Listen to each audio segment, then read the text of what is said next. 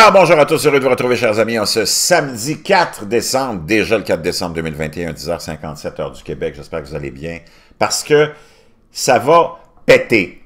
C'est inévitable, c'est notre destin. On se dirige tout droit vers la troisième guerre, qui sera mondiale, une vraie de vraie. On n'a pas connu ça depuis 39-45. Et ça se prépare de plus en plus. Je vous en ai parlé ces derniers jours.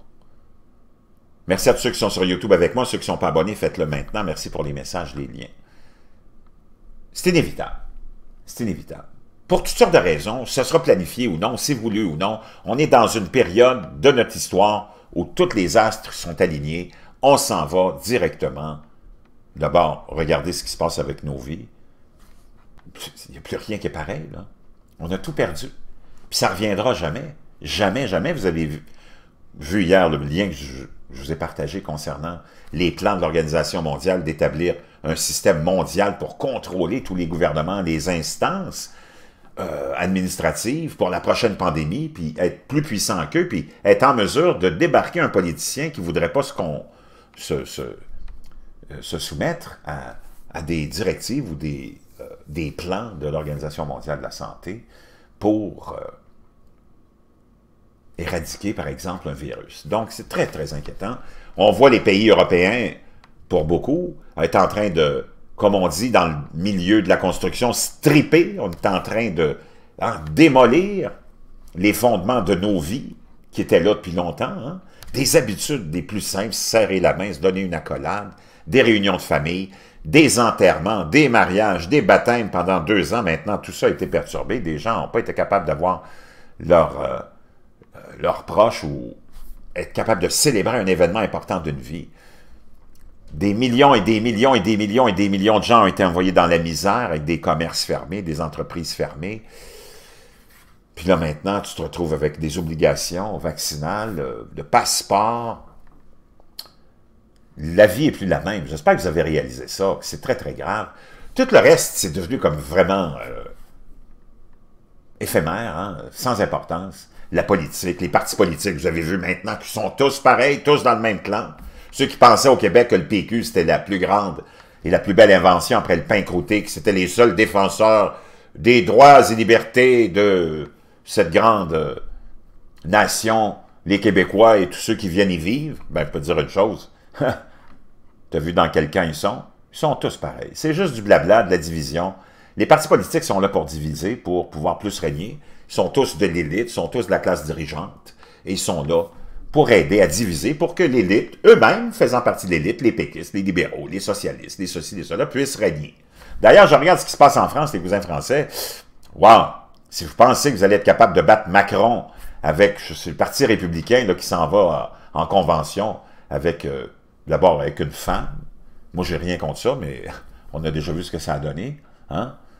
Les gens sont quand même fermés à l'idée d'avoir une femme comme euh, en France, en tout cas, mais de toute façon, une politicienne vraiment sans saveur, je ne sais pas, mais en tout cas, bonne chance.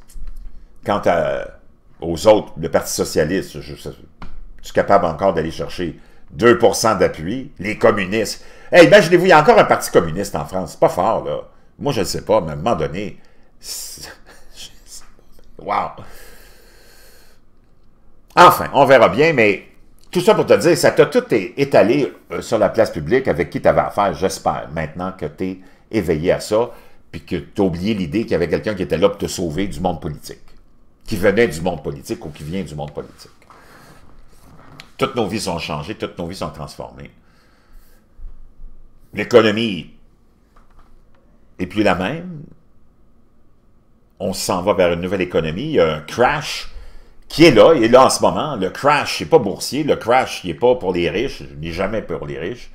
La dépression est là pour le monde ordinaire.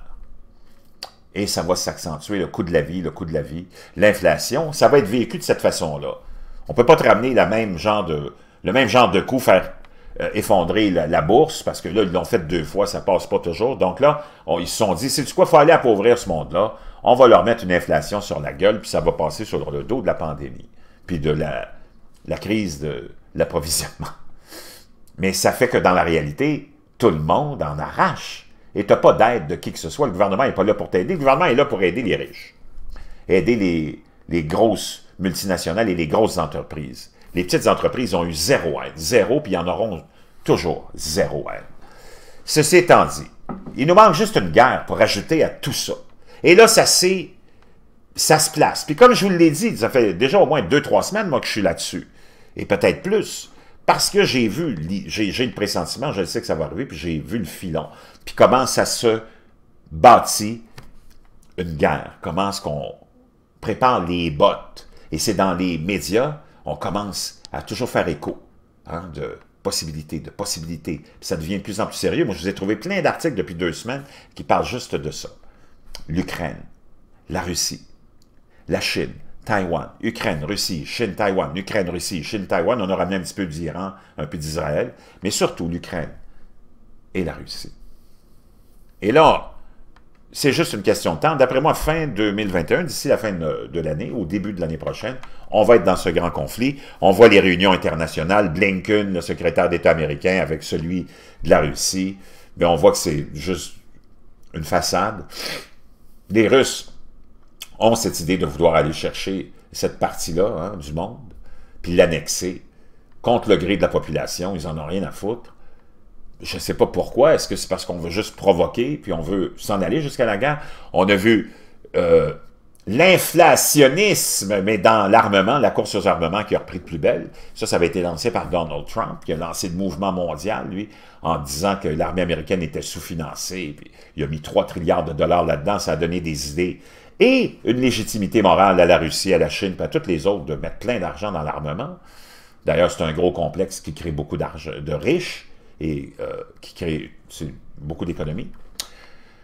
Et là, on a vu ça et on a vu ça, puis tu te prépares pas, puis tu construis pas des grosses armées, puis tu n'investis pas dans le complexe militaro-industriel juste pour le plaisir de décorer il faut que tu l'utilises, puis on va se trouver des bonnes raisons pour l'utiliser. Encore là, ce monde-là, ils s'en vont pas au front. Vladimir Poutine, Joe Biden, Blinken, puis tous les généraux, puis tous les autres de l'élite s'en vont pas au front. C'est vous autres qui allez aller au front. Puis ça aussi, ils n'en ont rien à foutre. Et là, ça se bâtit, ça se bâtit, puis là, ça devient de plus en plus gros dans les médias, parce qu'on prépare le monde. C'est comme ça qu'on a préparé le monde à la guerre du Golfe, la première, la deuxième. Hein? Puis c'est devenu après ça accepté, puis on savait qu'on était prête à déclarer la guerre. Maintenant, on apprend que la Russie prévoit une offensive militaire massive contre l'Ukraine, impliquant 175 000 soldats, prévient, prévient les renseignements américains, c'est toujours les renseignements américains qui nous ont lancés dans la première guerre du Golfe, la deuxième guerre du Golfe, en prétendant que Saddam Hussein avait des armes de destruction massive. La première, on était allé parce qu'ils étaient allés envahir euh, le Koweït, on s'en rappelle, comme si c'était notre... C'est incroyable. C'est comme si c'était ça relevait de notre moralité puis de, de nos affaires d'aller sauver le Koweït. Que le Koweït s'arrange avec ses affaires. Alors que les tensions montent entre Washington et Moscou au sujet d'une éventuelle invasion russe de l'Ukraine, les services de renseignement américains ont découvert que le Kremlin prévoyait une offensive sur plusieurs fronts dès le début de l'année prochaine, impliquant jusqu'à 175 000 soldats selon des responsables américains et un document de renseignement obtenu par le Washington Post. Même si ce n'était pas vrai, déjà on vous prépare vous voyez, ça se peut que ce soit vrai aussi. Le Kremlin a déplacé des troupes vers la frontière avec l'Ukraine tout en exigeant de Washington qu'il garantisse que l'Ukraine ne rejoindra pas l'OTAN et que l'Alliance s'abstiendra de certaines activités militaires sur et autour du territoire ukrainien. La crise a fait craindre une reprise de la guerre sur le sol européen et précède une réunion virtuelle prévue la semaine prochaine entre le président Biden et le président russe Vladimir Poutine. Donc je vous laisserai ça dans la boîte de description, vous aurez finir euh, la lecture vous-même. Donc, les plans russes appellent à une offensive militaire contre l'Ukraine dès le début de 2022, avec une ampleur de force deux fois supérieure à ce que nous avons vu le printemps dernier, lors de l'exercice instantané de la Russie près de la frontière ukrainienne. Donc, on te le dit, je te l'avais dit, moi, déjà il y a trois semaines, prépare-toi fin de l'année, l'année prochaine, début, 175 000 soldats qui sont déplacés, c'est pas parti, ils sont pas partis pour faire de, de la recherche scientifique ou du camping. Ils sont partis parce que, ça y est, on va entrer dans cette troisième guerre mondiale qui va probablement soulager beaucoup de nos dirigeants hein, sur la pression de tout ce qu'ils sont en train de nous faire vivre. Préparez-vous. Ça va péter.